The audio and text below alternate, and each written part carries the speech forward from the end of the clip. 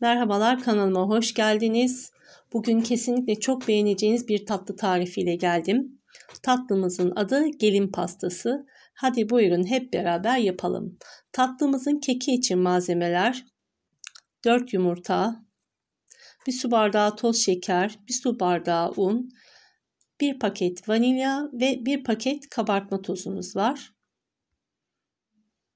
İlk önce yumurta ve toz şekerini çırpma kabına alalım. İyicene köpük köpük olana kadar çırpalım.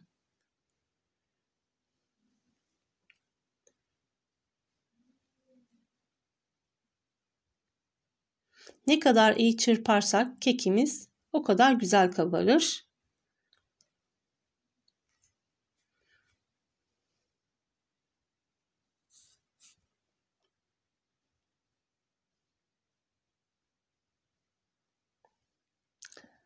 Sonra unumuz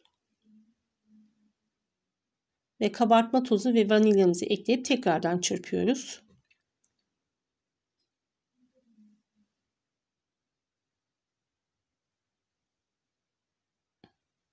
Evet harcımızı güzelce çırpalım. Çırpma işlemimiz bitti şimdi.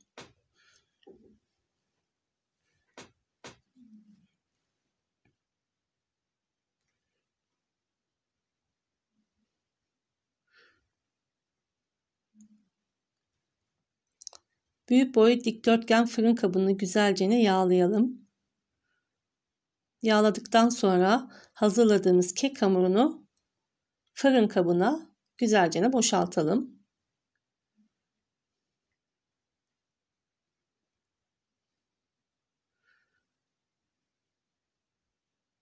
Sonra spatula yardımıyla fırın kabımıza güzelce yayalım harcımızı. Gerçekten tatlımız çok hafif. İçinde hiçbir şekilde yağ yok. Ve lezzetli bir tatlı. Evet harcımızı yaydıktan sonra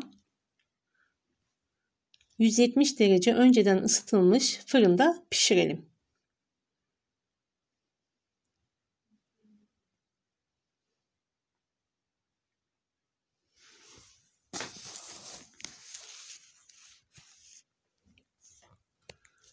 Muhallebisi için malzemelerimiz 1 litre süt, 1 su bardağı toz şeker, 3 yemek kaşığı un, 2 yemek kaşığı nişasta, buğday veya mısır nişastası fark etmez, 1 paket vanilya.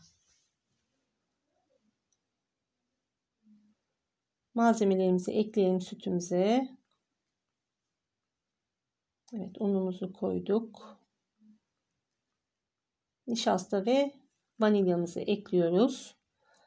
Bunları güzelce çırpalım. Sonra ocakta üzeri göz göz olana kadar güzelce muhallebimizi pişirelim. Evet kekimiz de şimdi fırından yeni çıkıyor. Güzelce pişti. Soğumaya bırakıyoruz.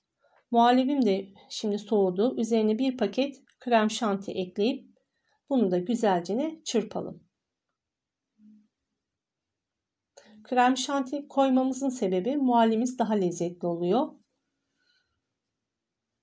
İsteğe bağlı koymayabilirsiniz de. Evet bunu da güzelce çırptık.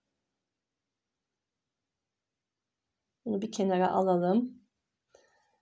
Kekimiz de zaten soğudu.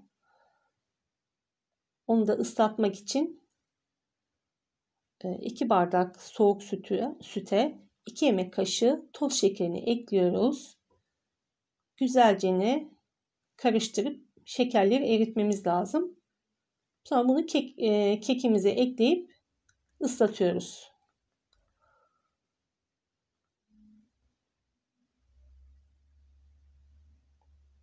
Sütün soğuk olması önemli.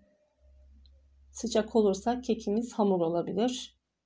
Evet yavaş yavaş dökelim sütümüzü. Zaten gördüğünüz gibi hemen döker dökmez emmeye başladı.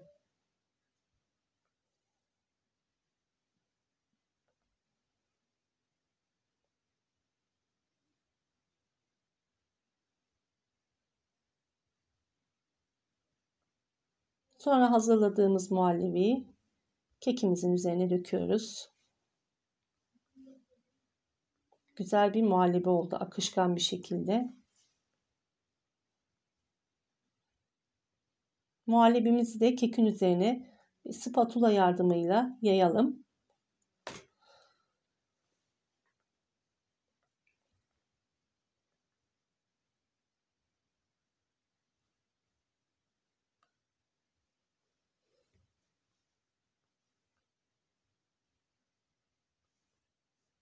Evet her tarafını eşit bir şekilde yaydıktan sonra üzerine Hindistan cevizi döküyoruz. Evet ben bol bol koydum Hindistan cevizini. Daha çok hoşuma gidiyor öyle.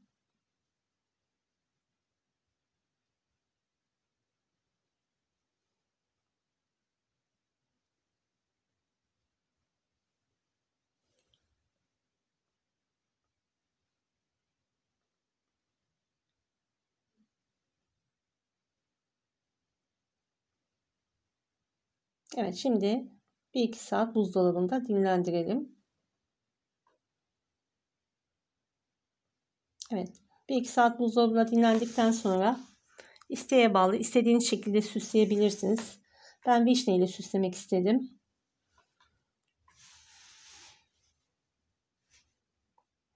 Tatlımız çok güzel oldu. Denemenizi tavsiye ederim.